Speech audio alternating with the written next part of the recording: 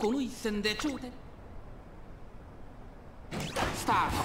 各馬娘綺麗なスタートを切りました。これは位置取りが熾烈になりそうですね。大宅ヘリオス会長に飛ばして行きます。向こう上面中間に入っていく。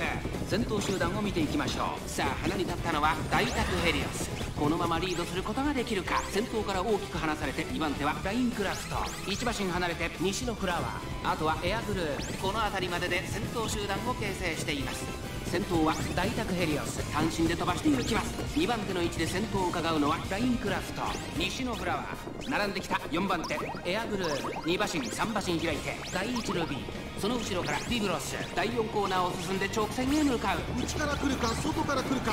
最後の局面です。じりじり詰めるラインクラフト先頭を捉えるとは出てくるのか？まだ1馬身以上の差があるぞ。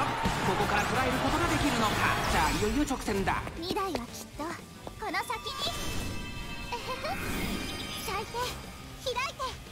広がる私のお花畑。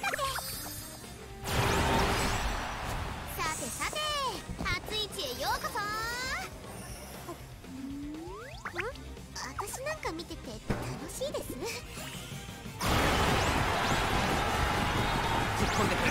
西のここでかわして先頭は。西のフラワー最終コーナー先陣を切ったのは西のフラワーうわっ内をつくすごい足だ。先頭は。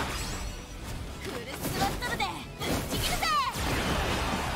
200を通過。先頭は変わらず西のフラワーうわっかかわすか。うわっか。差し切ってゴール優勝は？うわっか？優秀たるその走りで。マイラーの頂点に輝きました。2着には西のフラワー。3着ビブラス